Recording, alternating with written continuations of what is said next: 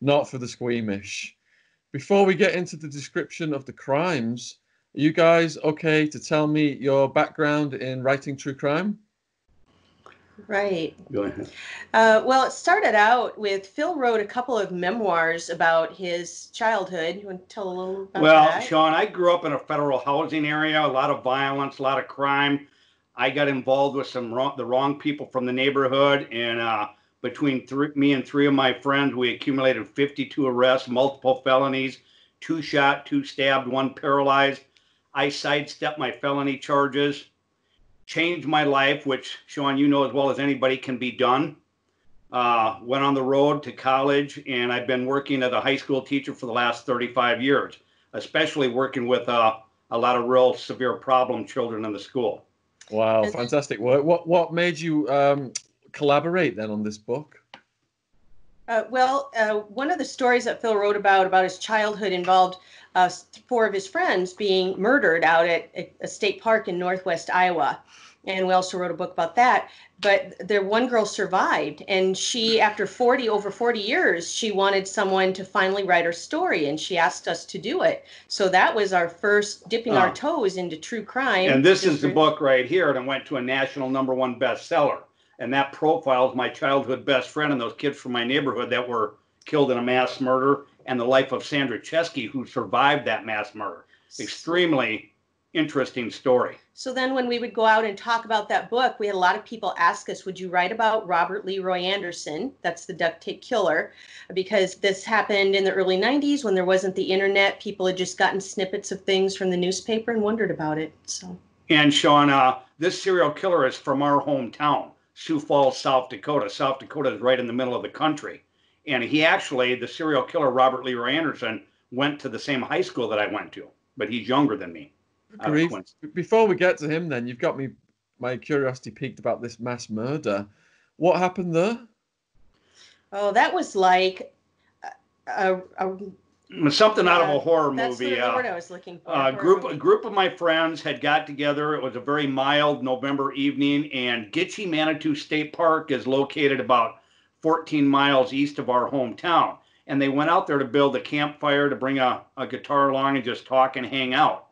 And three devious killers came out of the dark and ended up executing all of the boys and taking Sandra Cheskey away for a violent rape.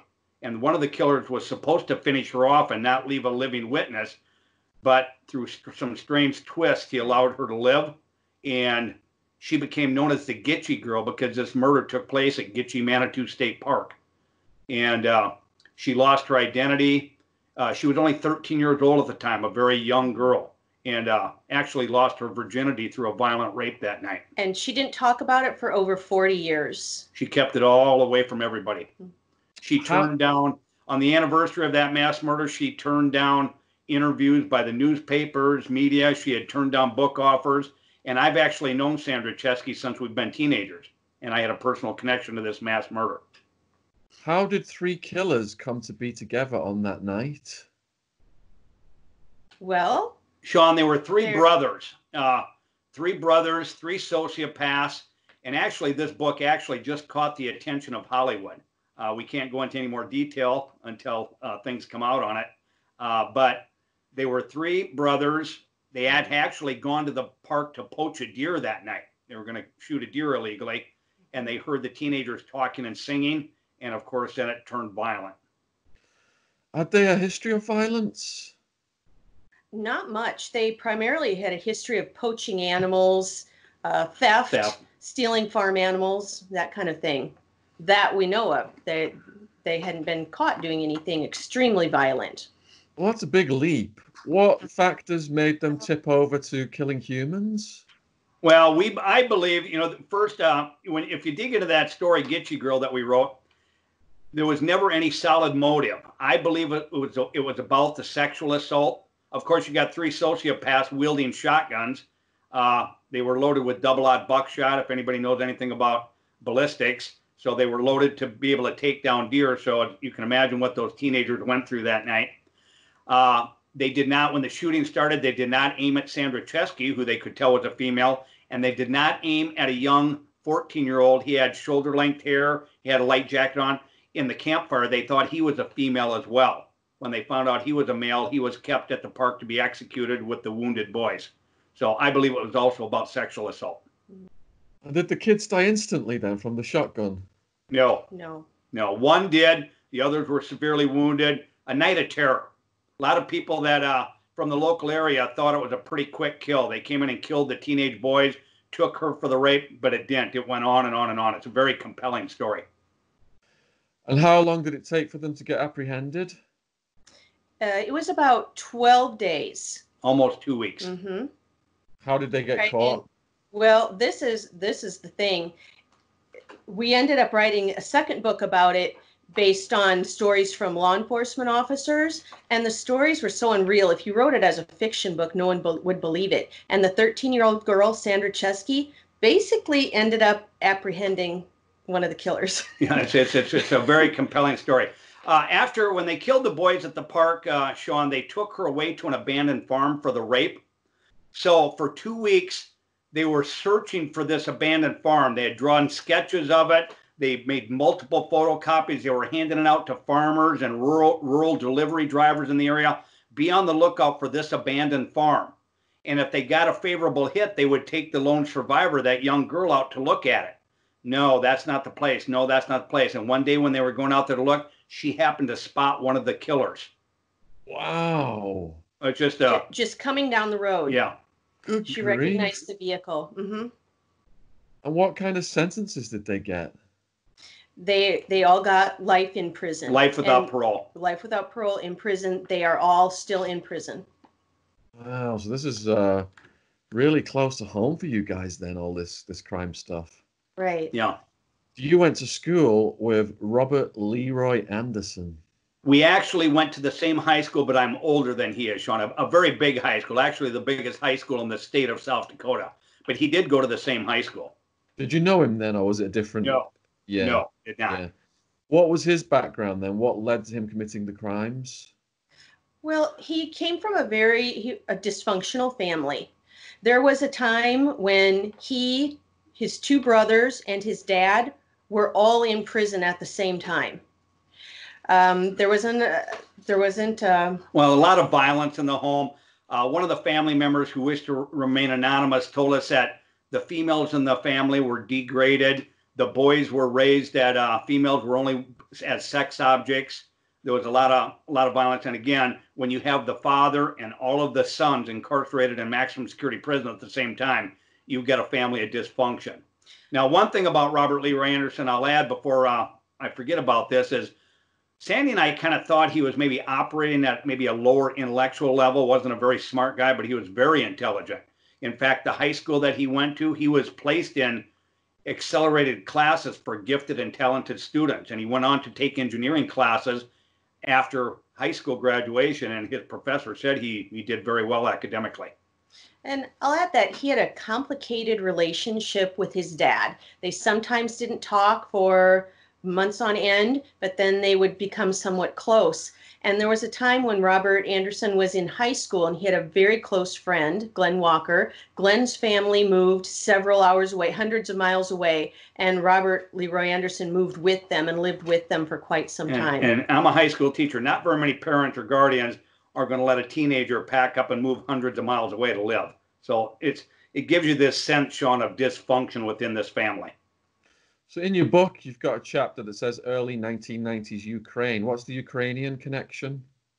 Okay. Um, Larissa and um, her husband, Bill Dumansky, came from the Ukraine in the 1990s. They were Pentecostal Christians. They were persecuted, so they qualified for religious asylum, and they got a job at the John Morrell meatpacking plant. It's a huge industry in Sioux Falls. They have thousands of employees, and it's something that somebody could do if they didn't speak English. Larissa, however, spoke several languages. She was intelligent. Everyone loved her. She was just so outgoing.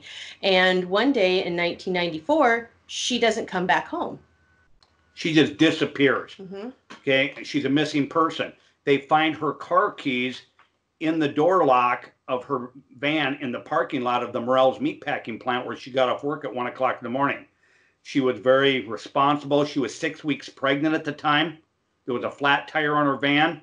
And so there's this huge search for Larissa Dumansky. Flyers are put up. Armies of volunteers are looking anywhere where a body could be found. And the case just goes cold. Yes, they brought in dogs. They even investigated a circus that had been in town. This is not a very populated state. Murders are rare. So they investigated this to every end. So obviously, as we move through this crime, Larissa Dumansky is going to be intertwined with this Robert Leroy Anderson. Why did he target her? Oh, he liked good looking women. She was very good looking. She was built very well, very pretty. And he, he had, after he was finally apprehended, he had all kinds of other women staked out. He knew their habits, when, when they came, came and went, where they lived. And they were all very good looking women. They kind of all, if you met all the women that he killed or tried to abduct and kill, they all kind of looked the same dark haired, good looking. And what happened then on the night that she disappeared? What did he do to her? Well, uh, eventually, you know, we tell that story down the line. We open up the story with Piper Streyle and her family, okay. a young couple, a young couple in their 20s. We open up the book with the phone call. Something was wrong. You had a young couple, Piper and Vance Streyle. They were in their 20s. They were raising two children. Their daughter Shana was almost four years old, and their son Nathan had just turned two years old. On Monday morning, I believe it was July 29th, 1996, that, Piper doesn't show up for work. Right, and that's about two years after Larissa disappeared. Okay, she doesn't show up for work, which is not like Piper Streyle. A good person, her and her husband, very religious, very, very reliable. They even had a Bible camp on their rural property. They had Bible campers that would come out there do shoot archery. They would have uh, Bible lessons. They would do all kinds of stuff. And so when she doesn't show up for work, a coworker calls her home. The phone rings and rings and rings, and little Shana, who's almost four, finally answers. And the coworker said, "Honey, is your mommy home?" No. Is your daddy home? No. Is there a babysitter? No. They are killed. And then Shana hangs up the phone. Well, now the coworker is on red alert. She gets a hold of another coworker sitting next to her. They get 911 on the phone, and the 911 operator says, Call the little girl back and see if we can get more information. So the coworker calls back to Piper Streyle's home. Little Shana answers again. Honey, when did mommy leave? Now Shana's crying. She left a while ago. There was a mean man in a black car that carried mommy away. Mommy's going to die. I don't want mommy to die. I don't want daddy to die. And then Shana hangs up the phone again. And from there, of course, authorities are dispatched to the Streyle residence.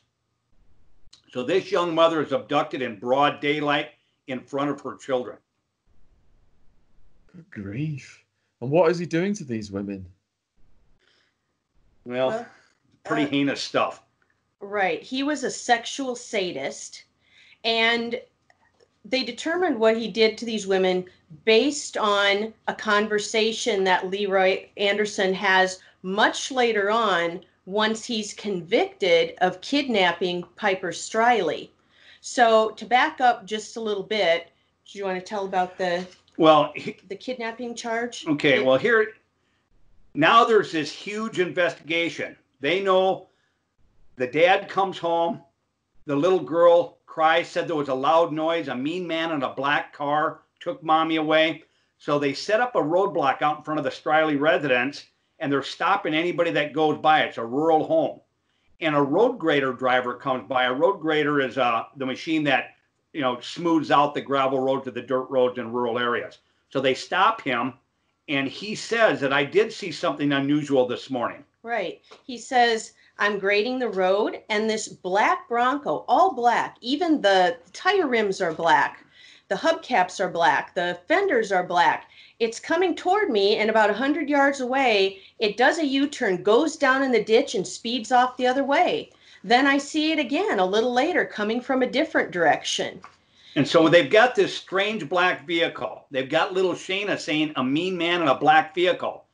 Now, later on, Vance Streyle, Piper's husband, remembers mm-hmm. hmm, Piper has just gone missing on Monday. The Friday before, a strange man knocks on their door. Vance answered. This man looks flustered. He's surprised to see Vance answer the door. The man stammers around and said, uh, uh, do you guys have a Bible camp or something here? And he tells Vance Streyle, I'm interested in your Bible camp. I have children of my own. And so Vance says, Well, write down your name on this piece of paper. And he writes Robert Anderson. Okay. And so Vance remembers looking out in this driveway and seeing this black vehicle. The rims are black. It's an SUV, a Bronco. It's all black. And so now the, the investigators have a black vehicle, a black vehicle, a black vehicle. They have something to go on. And this Robert Anderson tells Vance Streyle, Oh, my dad lives a little farther north than here. I've driven by your place a few times going to visit my dad. So the investigators are at the Streyle residence and they're talking. And they ask one of the investigators, Does anybody know an Anderson that lives near here? And one of them says, Well, there's a grubby Anderson that lives up north here a few miles, but everybody call I think his name is Leland Anderson, but everybody calls him Grubby. So they looked up this Leland Anderson. He had an arrest record. I mean, he was Robert Anderson's father. So he had been to prison himself. And so it is now three o'clock in the morning. These investigators have been at the Streyles all afternoon. They've been searching the area anywhere a body could be found. They're desperate to find Piper. And so at three o'clock in the morning, on this Leland Anderson's arrest record, there's a number for a woman and a phone number. So they, the investigators make up a story and they call this number at three o'clock in the morning. At three o'clock in the morning, a groggy woman answers the phone, and one of the investigators lies and he said, I'm sorry to call you at three in the morning, but I'm an over the road trucker and I'm going to buy a vehicle. Do you have a husband or a son named Robert Anderson? And she said, Yeah, I have a son named Robert Anderson, but he's not here. He's working the night shift at the Morrell's meat packing plant. And Hmm. right when they hear Morrell's, they start thinking Larissa Dumansky. What did the duct tape killer look like? He was uh, about average height. He was balding, even though he was just in his mid 20s. He was starting to bald. He was kind of pudgy. We call him, he had kind of a, a, A baby, baby- a baby, baby plump, plump build. build. He just looked like kind of a, a big overgrown child's body on a man. Um, and other than that, just rather nondescript. He didn't stand out in any way. Just kind of average looking guy. But What another thing we'll tell you about Robert Leroy. Oh, yeah, go ahead, Shaun. What was his job at the meat place?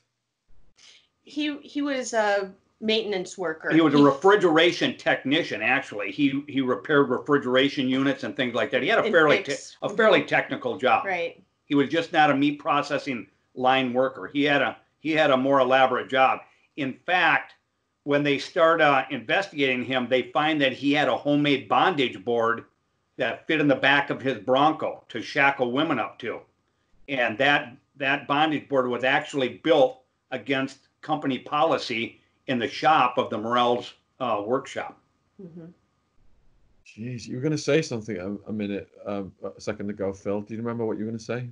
Well, I was just going to say that this Robert Leroy Anderson, he started telling friends from a young age about his desire to kidnap, bondage, rape women, and kill them. So he started sharing from a teenage uh, time in his life that he had these dark fantasies. Right. And, and it escalated. It came to the point where that was almost all he could talk about with his friends. Even people he didn't know that well, he would get on that topic. And the investigators speculated that it just consumed his thoughts. It's probably something he thought about all day long. Who would he? He, who would he grab? What woman was he going to target? What would he do with her? He played it over and over in his mind until it got to the point that fantasizing about it wasn't enough anymore. He had to start acting. But Shaun, that. as you know, you guys you deal in the true crime. He was awful young to have developed such a mature crime base at his age, at mid twenties. Usually, serial killers that have advanced as far as Robert Lee Anderson are older, in their late thirties to in their forties. And these crimes were his initial crimes, or was he like doing anything cruel to animals or anything else? We did not un- uncover that. Right. They speculate that he might have committed some other crimes even when he lived in Kansas City. They looked into those, thinking he might have been um, committed some sex crimes in that area, but they could never pin him to. When when he moved away when he was a teenager to live with uh, his friend Glenn Walker in Kansas City, there was some mysterious disappearance of some women that fit the same pattern as what happened to Piper Streyle and Larissa Dumansky. but they could never connect it. But there, some of the some of the investigators were highly suspicious that he may have been involved in some of those even as a teenager. So what happened to the women then? What did he do to them? Well, uh, Larissa Dumansky, I think we, we should progress again of how they catch this guy. First, they one, there's an investigator by the name of uh, uh, Bob Grandpré, and he's in town, and he's a special agent, and he has heard that Piper Streyle's been abducted. So he's down at the police department, and he knows how busy these investigators are. But they had the name of this Robert Leroy Anderson. They found his Bronco in the parking lot of the Morrell's parking lot, but it was blue. It wasn't black.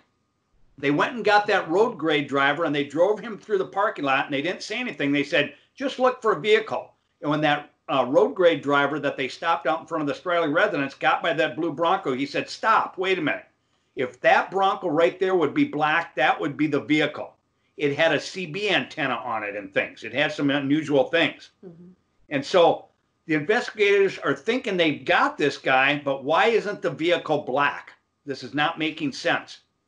And so now Bob Grandpré, the special agent, he volunteers to do an elimination investigation. And that's just what it sounds like. They're thinking there's nothing to tie this Robert Anderson to, to the crime. The colors of the car don't match. Robert Anderson's a common name. So he's going to do the elimination an- interview and say, okay, I talked to Robert Anderson and no, he's not involved.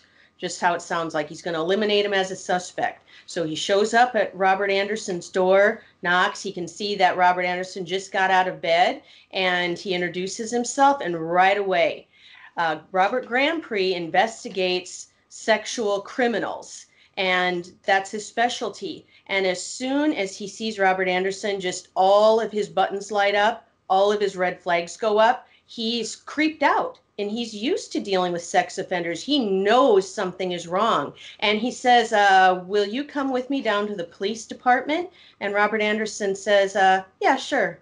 Now, that's not what you say when the police show up at your house and ask you to come with them. You say, What? Why? What is this about? Am I under arrest? Oh, no. He says, Come down. So Anderson volunteers to come down and interview with the investigators. Not a lawyer. He's not under arrest. Hasn't been read his Miranda rights but he volunteers to come down and talk to him. And it turns into a very strange interview. Right away, when they get him in the room, Bob Grand Grandpré starts talking, and he says to Robert Leroy Anderson, Do you have any idea why I've asked you to come down here? And Robert Leroy Anderson, he goes, says, Maybe it has something to do with that woman that went missing. And Grand Grandpré said, Well, why would you say that?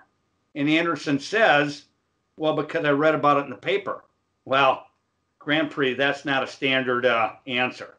So now Grand Grandpré Priest starts his investigative techniques. He said, Well, Robert, have you ever been to the Piper Streyle residence? And Robert says, No, I've driven by. My dad lives out by there. And then Grandpré says, Well, why would we have somebody that has said that they've seen you on their property? And then Robert changes his story and said, Oh, well, I pulled in there one time and turned around. And then Grandpré says, Well, why would we find your fingerprints on their door? Whether they investigated it or not, he was just, you know, he was doing his investigate. And Robert Lee Anderson said, oh, oh, well, I did go up and knock on the door, but I didn't go in. I was going to ask them about their Bible camp. And, and I tried the door handle. And when he said that, that gave them cause to get search warrants. Mm-hmm. But they needed to keep, um, the, the investigators needed to keep Anderson there. They didn't want him to get lawyered up right away and shut up. Their main concern was Piper could still be alive. As we, many of us know, time is a factor when somebody goes missing. They're thinking if they spook this guy off, he might go off and just leave her where he's got her tied up. She could die of exposure or dehydration. He's going to know he's being followed. Um, and so they wanted to keep him talking to try to crack him or get as much as they could. Well, they keep him talking for several hours. And he starts, he, he's going off in these strange directions. He wants to talk. He says he's as smart as Albert Einstein. He's got his own theory on science. And he wanted to talk about black holes in outer space. And so Bob Grandpré said, Well, Robert, help me out here. If somebody would have abducted Piper Streyle, what would they have done? What do you think somebody would have done with her? And he gets Robert talking in third person. Now Robert perks up and he's going, Oh, I've heard women are kept as a sex slave. She would be repeatedly raped and tortured. And Grandpré can tell he's getting off about saying what somebody else might have done to Piper yes, Streyle. he was disturbingly excited. Once they got him talking about what might have happened to her, Anderson couldn't shut up. He couldn't stop talking. No.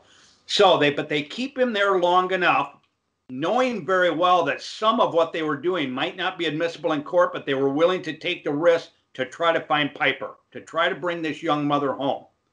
So they get a search warrant for Robert Leroy Anderson's body, his Bronco, the blue Bronco that's sitting out in the police parking lot, and his home.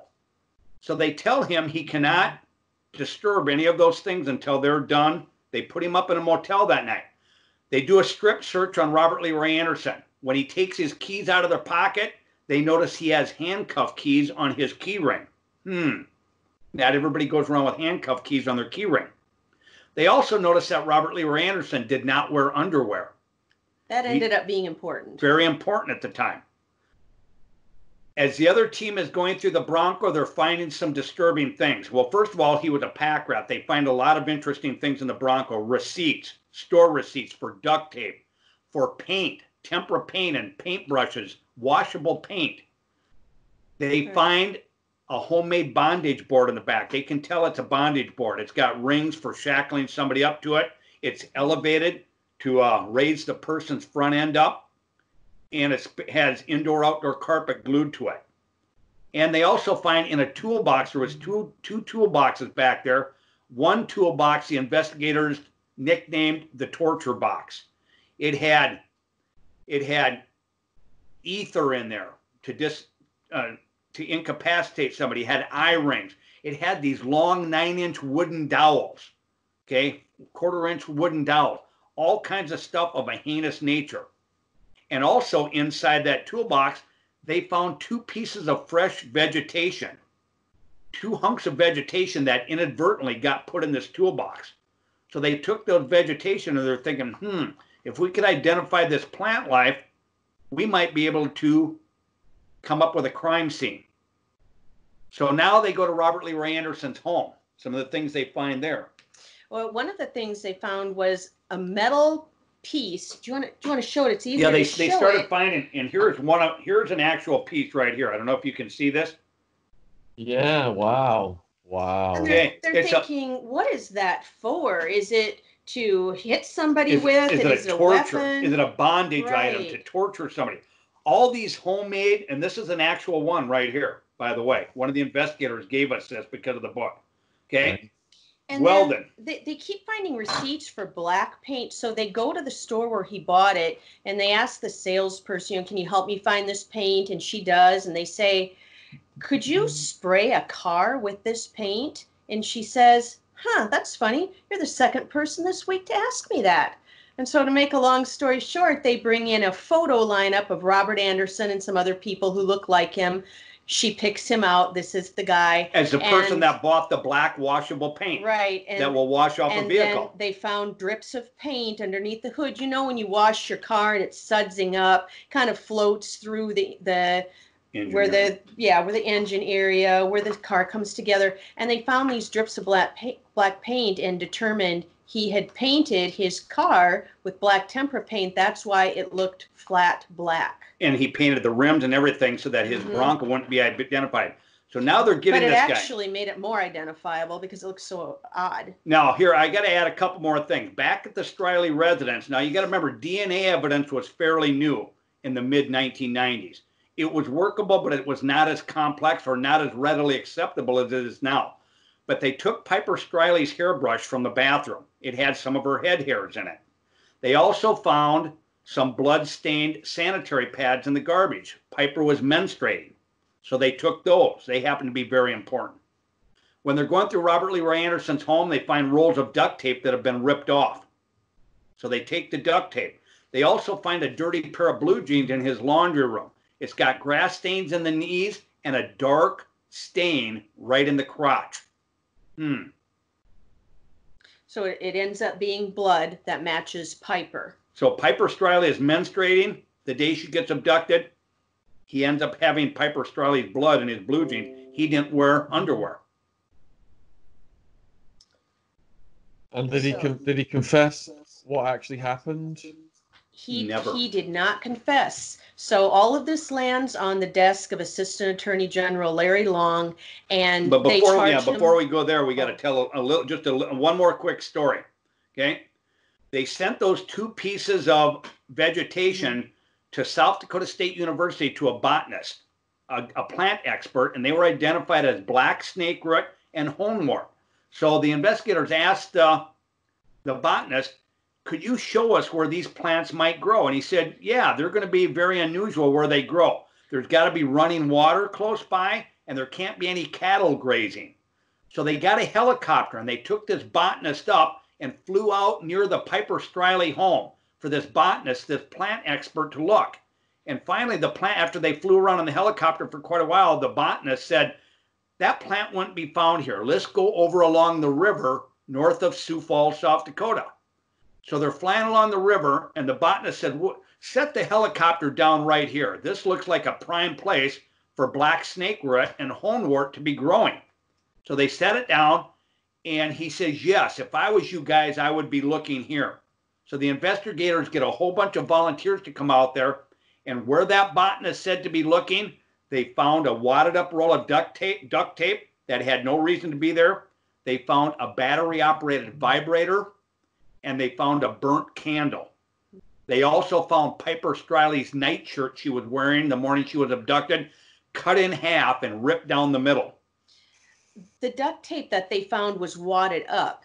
They unrolled it. It had hundreds of strands of human hair on it which ended up being that Piper. ended up matching Piper. Some of them had roots, so they were able to match that. And so they know that the way she died is that he had wrapped that duct tape around her. That's Larissa. Okay. Mhm. Um. So anyway, so anyway, they have all this evidence now. Also, they interview one of Glenn Walker. If you remember the name, was one of Robert Lee Anderson's childhood friends. Okay. He also had another friend that he spent a lot of time with by the name of Jamie Hammer. The investigators brought Jamie in, and Jamie said, Yeah, Robert Lee Anderson is strange. He has talked about abducting women and doing all kinds of stuff to them. And Jamie Hammer said he's been making all kinds of sharp items, homemade items, so he could lay them on the highway when he passes a woman and flatten her tire to incapacitate her vehicle so that he can abduct her at night. So he'd pull way ahead of the woman's car, get out, put this in the road, and then wait for her to drive Yes. over it. So about about two months after Larissa Dumansky, Shaun goes missing from the Morrell's parking lot.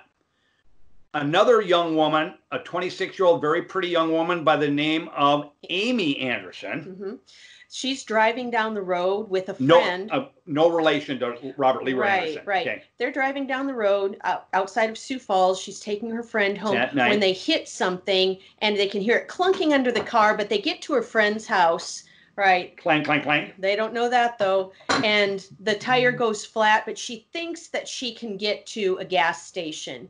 And as she's driving down the road, her car, tire goes completely flat. And this vehicle pulls over, this Good Samaritan, a man gets out, happens to be Robert Leroy Anderson. And she says, Oh, you know, thanks for stopping. She opens up her trunk to get the jack out, and he grabs her. And there's a struggle that goes on. And there's another man with There him that is, night. but that man kind of froze. If he had helped, they would have been able to take her. But she fights and struggles. She gets him off balance. She runs up the ditch and is running down this rural road where there the possibility of someone got, coming down the road is kind of remote It's at dark. night. Yeah, it's Right, dark. it's dark. But a car comes down the road. It happens to be some teenage girls. They let her get in the car, bring her to a phone.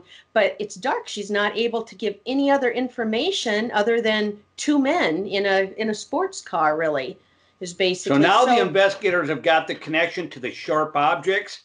Oh, this Amy Anderson very nearly got abducted by Robert Leroy Anderson. And the, by the way, the friend that was with him happens to be his lifetime childhood friend, Glenn Walker, that he went to mm-hmm. live in Kansas City with. He had talked Glenn Walker into helping him abduct and rape and bondage up women. So they were working as a team at that point. Actually, Glenn Walker ends up helping Robert Leroy Anderson abduct Larissa Dumansky from the parking lot of the Morrell's meatpacking plant. Right, but then after they after Amy got away, and that really rattled him, and Glenn Walker would not help him anymore. But then Robert Leroy Anderson got very angry with Glenn Walker to the point where he was gonna have a, a cellmate murder Glenn Walker. We'll get to that story here in a minute. Okay, so so then all of this lands on the desk of Assistant Attorney General Larry Long. They can only charge him with first degree kidnapping, but in the state of South Dakota, that's a life sentence because they're thinking if they later find the body, they could charge him with murder. So he ends up going to prison, and that's when things get interesting. That's when you'd think the story ended, but it just so happens he goes into ADSEG, and then, and then we're getting to it now. This is this is when they do find out what happened to the women, or they they never would. Have. So they go after Robert Lee Anderson for first degree kidnap. They've got all this evidence, the blood in the the blood stained pants. They can they've got enough evidence. We know you took that woman, Piper Streyle, in front of her children. Okay. Here's another thing.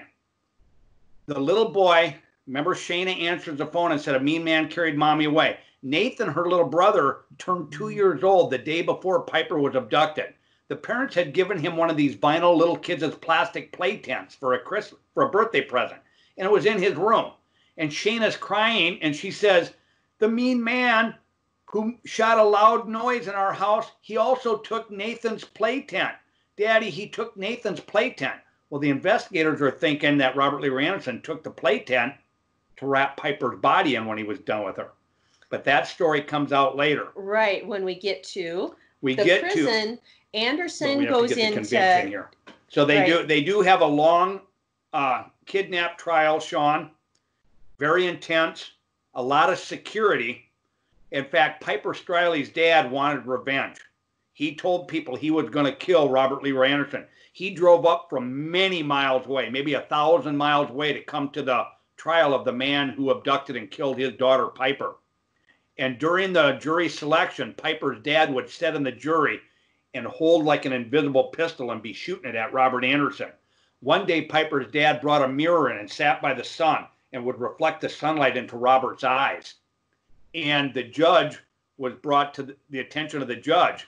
And so the attorney general and the judge took Piper's dad out in the hallway and said, Look, what are you doing?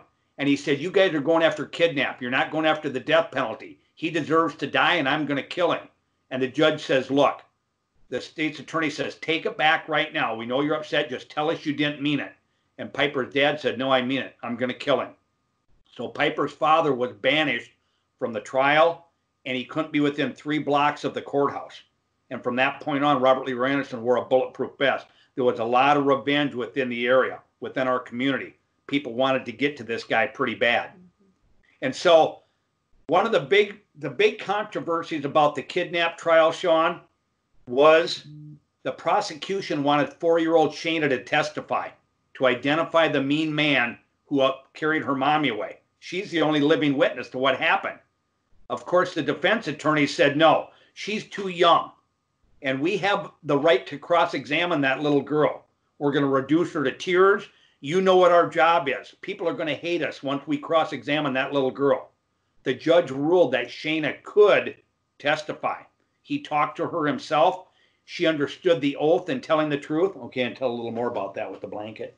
Right. And then Shana had been working with a child psychologist, and this psychologist had given her a little blanket, and Shana would wrap herself in it as her way of saying, I've had enough, I can't talk anymore. So the the psychiatrist is working with Shana, as is a female um, attorney, and they're questioning her and just saying things like, What's your name? and tell us what happened. And as soon as they approach that line of questioning, About Robert Shana- Ray Anderson. Right. shana just wraps herself in that blanket tighter and tighter until you can just see her little body, you know, trying to disappear inside of that. And there that wasn't point- a dry eye in the courtroom and that they had to just stop. But during the kidnap trial, the jury still got to hear little Shana's voice. Mhm. So here's what happened. After Robert Leroy Anderson has abducted her mother right in front of her, her dad calls home, calls back home. He's looking to talk to Piper. Well, Shana, by the time she gets to the phone and picks it up, Vance, her father, has already hung up the phone. But the tape recording machine in their home kept recording. It was one of the old-fashioned Yeah. answering machines. It was an old fashioned telephone answering machine that the Streyles had hooked up to their phone. And they brought that in, and on that tape recording, it's got the little girl saying, Papa, Papa, please call back. Please call back. Oh, I hope he calls back again. And so that was very emotional. The jury nailed Robert Leroy Anderson for first degree kidnap, and he gets sentenced to life in prison. But it's not done at that point. Now, Robert Lee Anderson is sent to prison for life, and he's held in the notorious ADSEG wing. Right, that's administrative segregation where they put only the most violent criminals and the death row inmates. It's a prison within a prison, really. And so he ends up becoming cellmates with Jeremy Bruner. Now, Jeremy Bruner is only about 21, but he is seasoned. He is just, he's one of those people who can look at you and after talking to you for a minute, he practically knows your life story. He knows what buttons to push, he knows how to to work people. And, everybody knows he's a notorious criminal. right they they know that he's a gang member that he's been involved in drive-by shootings and that he beat a first degree murder rap now that really intrigues robert anderson he wants to know how can you beat a murder rap Robert Leroy Now- Anderson, by the way, Shaun, became cellmates with Jeremy Bruner, yeah this hardcore criminal. so the problem with this though is that none of that was true now bruner was very wise and he was in prison for some low level thefts and low level Drug sales. yeah just small So drug he had, he had sales. no status in the and maximum he security knew prison. you don't want to go into a maximum security prison being low man on the totem pole so he paid an inmate uh, one can of chewing tobacco to make up this fake rap sheet and then leak it to the other inmates so that he had this high level status. Now he Right. got away with this. You can't keep a lot of secrets from the inmates. Eh, They know a lot about you. But Jeremy Bruner was not from the state of South Dakota. He got himself in trouble and was doing prison time. He was from Michigan, many hundreds of miles away. So nobody really knew what his background was. But he leaked this fake rap sheet, including the fact that he beat a murder rap. Right. So um, now Bruner is very wise and very smart about the legal system. Anderson is a newborn. Yeah. He doesn't know any of the ins and outs You know, of that. Anderson was smart, but he hadn't been around prison. Jeremy Right. Bruner had been incarcerated almost his whole life, from a teenager all the way up into his early 20s. Mhm. He So- knew the prison system. So they are no match, and Robert Anderson is eager to know how did you beat this prison rap? And right away, bells go off in Bruner's head. He he's thinking ahead. He makes up this story to make a long story short. Well, you, you Well, go ahead. You Jeremy that. Brunner tells Robert Leroy Anderson, who's sitting on the edge of his bed, This is how I beat a murder rap. Okay? I planted some evidence on a guy that I knew that didn't have an alibi, and I paid a witness to testify against him. I had a good lawyer, and once they saw that evidence in this guy's home and the other uh, witness testified against him, they dropped the murder charges against me. So now Robert Lee Anderson said, Could you help me do that, Bruner? I would like to pin my crimes on somebody else. Could we do it? So Brunner said, Well, let me talk to my brother on the outside and my people on the streets. He plays hard to get. He plays a little hard to get and Anderson is just chomping at the bits. He wants he wants Brunner to help him pin his crimes on somebody else. So finally, a while later, Brunner says, Yeah, Anderson, we can get this pulled off. You have to start out by transferring $500 into my brother's account, which he actually had him do. He conned him out of $500. And he said, Now, I don't want you to pull any crap on me. In order for us to pull this off, Anderson, I need to know everything that happened during those murders, everything you know, everything the cops know, and everything the cops don't know, or this will blow up in our face. And also, Bruner knows no criminal's going to tell everything right away. So he keeps pushing him for more and more and more information. So now Brunner's sucking this information. So, So, so they- now we can tell exactly what happened to Larissa Dumansky. We can tell exactly right now what happened to Piper Streyle because Robert Lee Anderson told his cellmate Jeremy Brunner in detail exactly what happened. So let's go back to Larissa Dumansky. Him and Glenn Walker, he had already talked his his lifelong friend into abducting and raping women with. Right. So Jeremy Bruner is telling Anderson he needs to know everything about these crimes. If he wants his help in pinning Anderson's crimes onto somebody else, He has to know everything, every detail. I want to know what the cops know. I want to know what they don't know. And he says, or this will blow up in our face. He tells Anderson, I have a guy, I'm going to call him Mr. Ghost. And this Mr. Ghost doesn't have an alibi. I need some items to plan in this Mr. Ghost car or house. And then I have a girl that will date him. And then she'll say that Mr. Ghost tried to rape her. And when they find those items in his car or in his house, then you can get a good lawyer to get you an acquittal on your crimes. We can pin it on this Mr. Ghost. So Bruner is conning him. The con is conning the con. And so he tells Anderson, I need some items. What can I plant in Mr. Ghost car or house? And Anderson thinks and he says, Okay, I've hidden some things in my mother's basement up in the rafters. I took some jewelry off Piper Streyle when I murdered her, and I took some jewelry off Larissa Dumansky. So Anderson now proceeds to say, Well, tell me exactly what happened. So now we'll quickly tell you the Larissa Dumansky story. On the night Larissa Dumansky goes missing from the Morrell's parking lot, Glenn Walker and Robert Lee Anderson are waiting in their vehicle for her to go to her car, which is parked way out in the parking lot. Larissa Dumansky gets off work at one o'clock in the morning. Right when she gets to her car and puts her keys in the door to unlock the driver's side door, they come up behind her and throw her on the ground. That's why her keys were found in the van. They duct tape her up and they throw her in the trunk of Anderson's car. Anderson is going to take her out to a secluded area where him and Glenn Walker are going to proceed to rape Larissa Dumansky.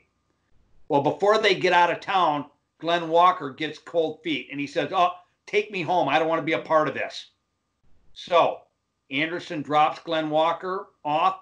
He takes Larissa Dumansky out and proceeds to rape her repeatedly for four hours.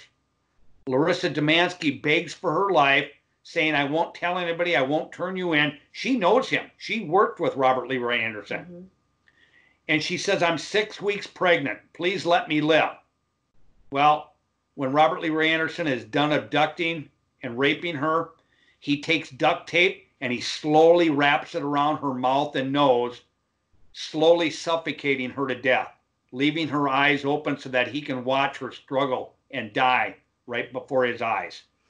And when he tells this to Bruner, he's not at all ashamed or embarrassed. He's almost proud of what yeah, he's he kind of laughs and he says, "Yeah, she tells me my husband is the only man I've been sexual with. Can you please just let me go? I won't tell anybody." And so after Larissa is dead, he throws her in the trunk of his car, her body, and he goes home and takes a nap and gets some sleep. There's no conscience. No conscience. Then he drives to where Glenn Walker is, his friend who got cold feet, and he said, You're going to help me bury her. You were involved in getting her abducted. I raped her, but you're going to help me bury her. So now those two go out, not too far from Piper Streyle's residence, up by a lake up there, and there's a great big chokecherry bush, and they bury Larissa Dumansky beneath the chokecherry bush. Okay? So during the kidnap trial, when Robert Lee Anderson gets found guilty of first degree murder, they know that Glenn Walker is involved because Glenn Walker calls and leaves a message on a friend's house saying, We need to come up with an alibi for Robert, saying why he was out by the Streyle residence. So this this friend brought the tape recording to the police. So now the prosecutors know that Glenn Walker is involved somehow with this crime, but they don't know how. So they subpoena him and make him come to court every day thinking he might be called up to witness for something. They don't they don't know how he's involved so they can't call him up but they just want to make him nervous and they do. During so, this kidnap trial. Right. So so he goes to the attorneys and he says uh you know i i can tell you where larissa is buried in exchange for immunity and the prosecutor is very sharp. He says what do you need immunity from and uh, Glenn, Walker. Glenn Walker says, Well, one time when I was driving with Anderson, he pointed out and he showed me where Larissa's buried. And the guy said, Well, you don't need immunity. That's not illegal for someone to show you where they buried somebody. But in the end, he ends up telling, showing the police where Larissa is buried. So, and then after that, he claims he thought he had immunity So now Glenn. Walker is locked up in prison, Mhm. and Glenn Walker has now taken the authorities and showing them where Larissa Dumansky is buried. Now remember, they only went after Robert Lee Anderson for first degree kidnap because they didn't have a body. Well, there's a lot more details in the book that we can't really go into, but now they have a body. They have Larissa Dumansky. And now Jeremy Bruner plays his hand. He goes to the prison authorities and he said, Hey, if you want to nail Robert Leroy Anderson for first degree murder and get the death penalty against him, I've got some information for you. But I want to talk to the attorney general of the state. And you might know this, they have a saying in prison that an inmate's word isn't worth a bucket of warm spit because they might say anything to, To try to get out. You're right. So the prison officials say, look, the attorney general of the state of South Dakota is not going to talk to you, Bruner, unless you give us something really good.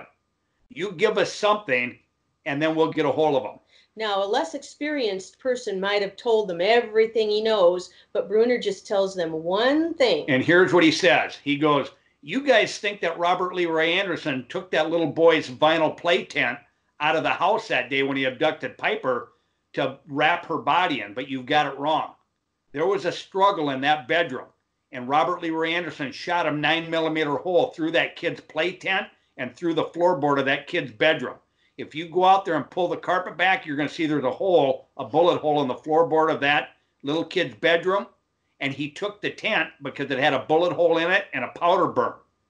And so they sent authorities out. They pulled the carpet back. Sure enough, there was a bullet hole. They inserted a rod into that hole. They got the angle. They went underneath the trailer home. They dug with their bare hands and they got the nine millimeter slug out of the dirt. Now, Jeremy Bruner says, I'm going to give you some more evidence. He planted jewelry that he took for souvenirs off those two women and a handgun, the nine millimeter handgun, and handcuffs. And here's the map. I had Robert Lee Anderson draw me a map to where my people on the street could get the evidence to plan on Mr. Ghost. But the authorities go to the to the home that Robert Lee Anderson's mother owned, and they found that jewelry, the handgun, and so now Bruner gets out. He's out on the street. They cut him loose. Bruner did his job. So now we will tell what happened to Piper Streyle, how her abduction went down, because Bruner did uh, receive that information from Robert Lee Anderson. So the morning of Monday, when Piper goes missing, you want to start the story? Right. So she's in her house with her two children, and there's a knock at the door. Shayna answers, and there's kind of some commotion. And Robert Leroy Anderson comes in the house down the hall. He knocks Piper back on her bottom, and there's a struggle. She yells to her kids, Run and hide, and they do. And the gun goes off in the struggle. Not sure if he was trying to show her who was in charge and scare her, or, Or she was, or she was grabbed, or she was grabbing for the gun, but it did go off and shoot a hole through the through the play tent in the bedroom. But he carried her outside, put her in the vehicle, uh, down on the floorboard, and told her to be quiet. Then he drives her to this secluded spot where the botanist said you can find honewort and black Black- snake root. Mhm.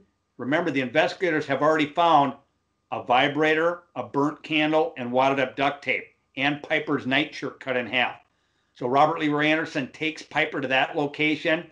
He shackles her up to the bondage board where he cuts and rips her clothes and her underwear and things off. She tries to say, I'm menstruating. He says, I don't care about that. He proceeds to rape her repeatedly. And then he told Brunner he straddled her body and slowly choked her to death with his eyes two inches from her eyes so he could watch her die. He said he was very disappointed because she just closed her eyes and died very passively. She didn't beg or struggle or kick around. She just kind of went to sleep. So he was very disappointed.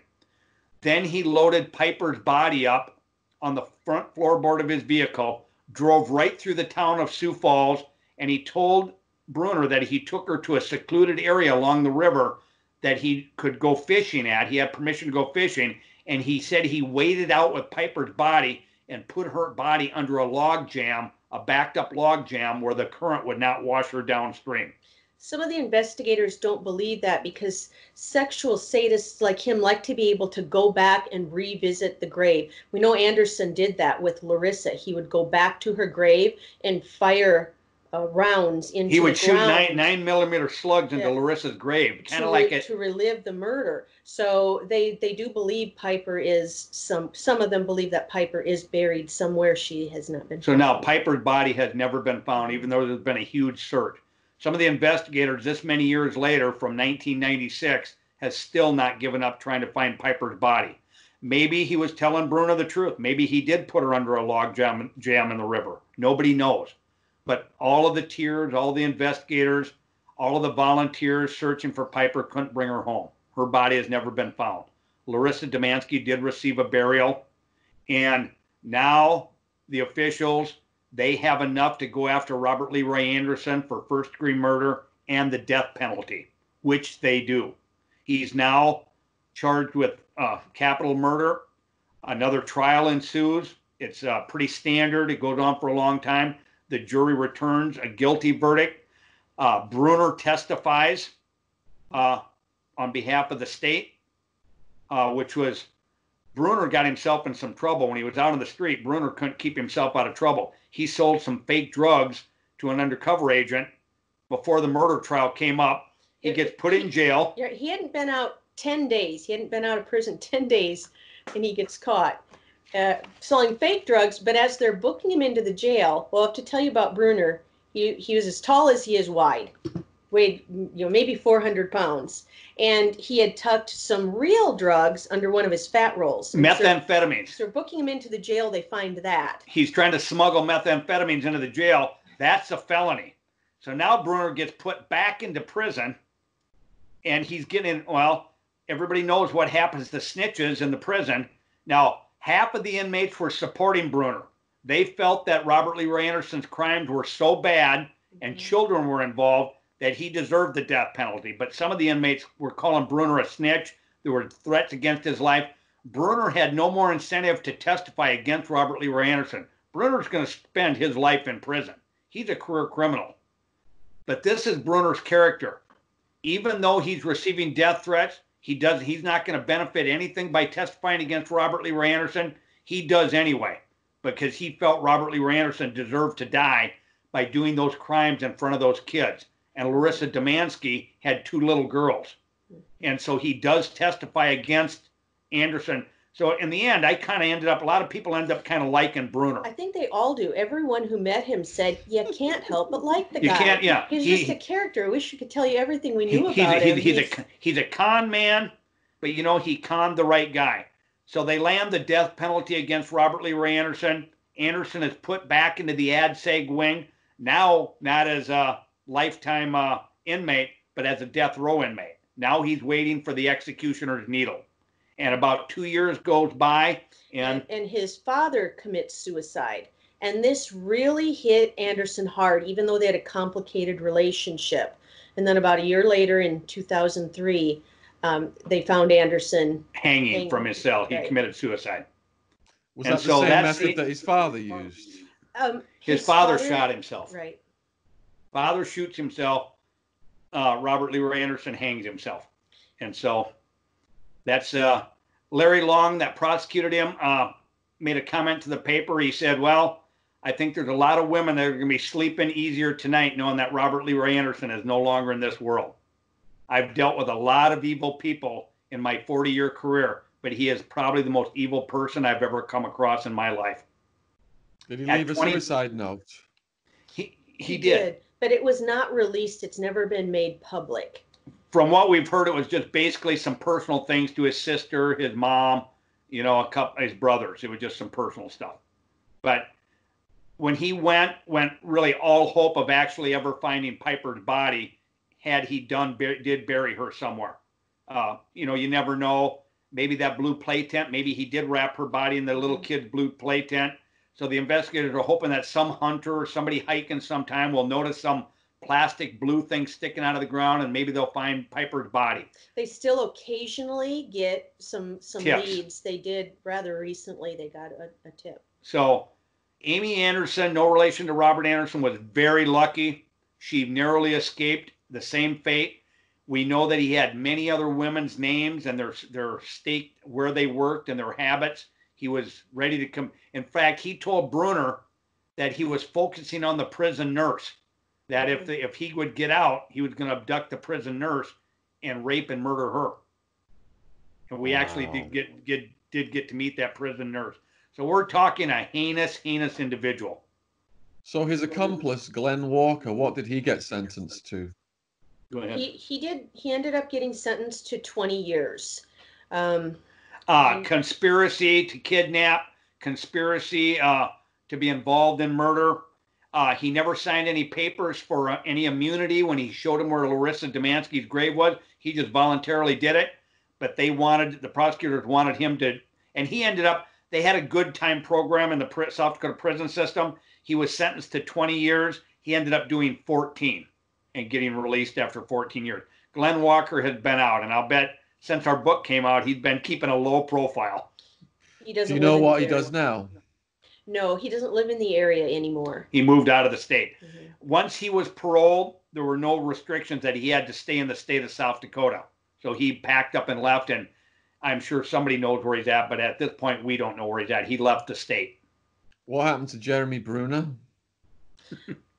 He he has a a business, I believe, like a tattooing business, and He I lives in another state. had- yeah, we kind of said Jeremy Bruner just kind of rode off into the criminal sunset. When his time was done being served in South Dakota prison, he probably went back to his home state of Wisconsin. But he runs a business and he's uh, he's kept a pretty low profile, but a, a pretty likable guy in the long run. You, you know, some people might call him the typical jailhouse snitch or rat, and some people say no, he's a stand-up guy. He wasn't going to get anything out of it. He had multiple death threats, but he still testified against Anderson because he felt it was the right thing to do. A little bit, just one more quick story about Bruner's character. If you remember, Piper's dad got banned from the kidnap trial, and he couldn't come within any part of any anywhere near the the courthouse. So he didn't get to hear all the testimony or anything that Bruner got to say during the murder trial. Piper's dad was not allowed to attend the murder trial as well. After Anderson got convicted of first degree murder and got the death sentence, Bruner said, I would like to tell Piper's dad what he wants to know. I'd like a secret meeting with him. And even though it was hard for Bruner, he met with Piper's dad privately and shared anything that Piper's dad wanted to know mm-hmm. so that he could have peace of mind. That's Bruner's character. So, like I said, I don't view Bruner as just a typical jailhouse snitch. I kind of view him as a stand-up guy. Yes, he's a criminal. He's a shady character, but he's got he's got a pretty good side to him as right. well. Justice would not have been served without him. Without Jeremy Bruner. Wow, what a powerful story. I've just sat here absolutely riveted and I could really see it being made into a movie. Amazing. Good grief. What an evil person. Mhm. Evil, evil. Whew. So, what other stuff are you guys working on now? Well, you know, we've just there's once this book comes out, you know, there's still a lot of things. We're uh, we're having an interview with Shaun right now. You know, we still go on book talks uh, with this COVID nineteen uh, uh, virus thing that's going around. It really shut down a lot of our talks. You know, we go around to fundraisers and libraries and go to small communities and and we we do a lot of speaking. A lot of that down, and you know, when that opens back up, we'll be doing more with that. But there's there's a lot of follow up and you know, with Hollywood, our Hollywood connection with our story about the Gitchie Girl uh, book that we wrote, you know, we're very busy with that as well. So in the description in the description box below this video then for the people watching this are going to be links to your books and links to your socials. And are you on all the socials and do you have a preferred method of people getting in touch with you? Probably Facebook. Facebook. Right. Right. Yeah, Phil and Sandy Hamman. Yeah, if you- and uh, If you can email me those links, I'll, I'll get them all in the description box for you. Great. and uh, here's the book we were just talking about, Duct Tape Killer. And if they're interested in the the other books, there's Gitchie Girl and the sequel, Gitchie Girl Uncovered. Tremendously compelling stories for your uh, viewers that are interested in reading. That's fantastic. My mind is absolutely blown, and I'm sure it's, it, this video is going to get a really good reception. So thank you very much for your time, guys. Thank you. Yeah, Shaun, thank you very much for having You us. have a great program. We always enjoy it. Oh, I appreciate that. Cheers. Let me just stop recording. Let's see. There